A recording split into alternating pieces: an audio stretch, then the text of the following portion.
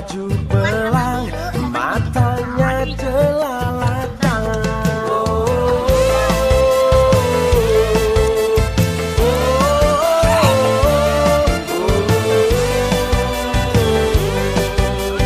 langsung ku datang. Saya iya